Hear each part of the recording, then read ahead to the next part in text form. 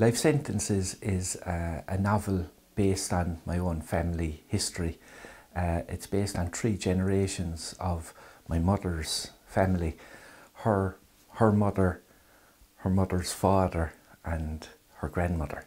So um, it, it spans a length of time from just after the famine in Ireland, which was the mid 19th century, up to the 1980s. Uh, it's a story about poor people um, uh, and the struggles that they went went through, uh, and uh, using their lives, it's also a reflection of Ireland during that period, the the social history of of Ireland.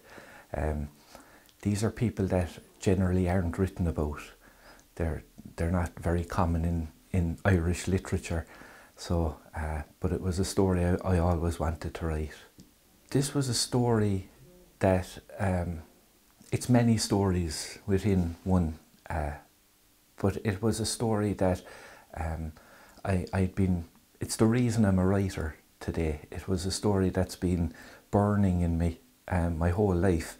When I was a, a little boy, I lived with my grandmother, um, who's Nellie in the in the the book, um, and she would tell me lots of stories about her, her father, especially.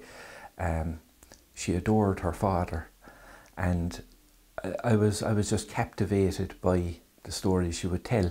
It, it, we, I, I live in the village that I you know that I was born in, that my parents were born in, that my grandmother was born in, all the way back. So uh, I'm very rooted here uh, in Douglas. Um, and uh, my grandmother was, uh, she was a great woman to, to bring, bring up a child.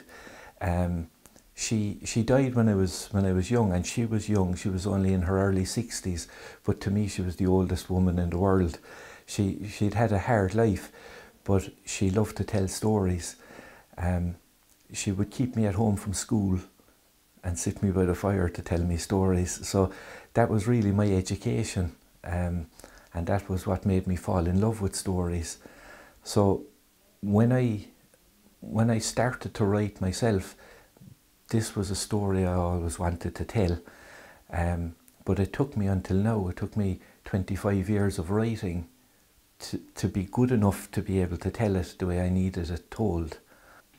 You know, uh, Ireland the, the characters in the story are shaped by their circumstances and their, their place. Uh, they're very rooted in Cork.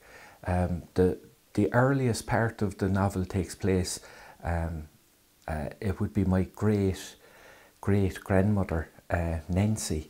Uh, she lived on a little island off the west coast of Cork, very remote, uh, called Cape Clear. And um, it was a very badly hit area during the famine. Um, you either left or you died. Uh, there was no, you know, no chance of surviving really there. So she made her way up to Cork City and she eventually ended up in Douglas um, with two uh, illegitimate children, um, which is really what the, the, you know, the heart of the novel is about. Um, the novel is about family um, and um, the the strength of of these people. Uh, uh, you know, there's there's a lot in the novel that um, could be considered shameful, but um, I could only view it as heroic. These were people that this woman Nancy especially, she sacrificed her entire life to ensure that her children would be with her and uh, you know would continue. Um, it's it's very much a reflection of, of Ireland at the time. You know, um, the, the the poor suffered, um, and this continued uh, um, after um, you know Britain left. Um, we had the the church, and that's a factor in the in the novel as well. Um, uh, Nellie, who was my, my grandmother, uh, her first child was um, was was born um, and died within a few hours of being born, uh, and that's what the third section of the book is about. And because he wasn't baptized, he wasn't allowed to be buried in the in the graveyard. So her father uh, and her husband took the baby and buried the child during the night um, in the graveyard, and they were they were caught by the priest.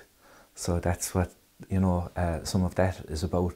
But that was very much a reflection of the time. That was this was commonplace, um, and so I, I wanted I wanted the I wanted to show what their lives were like, but I also wanted to show um, what their lives were like because of what Ireland was like.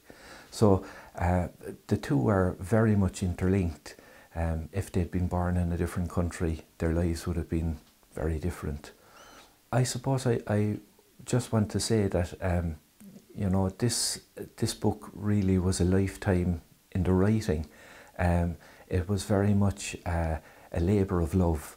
Um, no matter what I will write in the future or what I've written in the past, this book is my heart. Uh, and it's it's the book I'm very proud of. So I hope it will find its way to, to readers. Um, and I think that, you know, no matter what country you're from, um, your own past probably isn't so far removed from a lot of what's in this book. Um, so I hope readers will enjoy it.